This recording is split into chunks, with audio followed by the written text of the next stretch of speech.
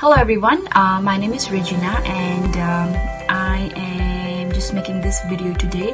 as I am remembering the times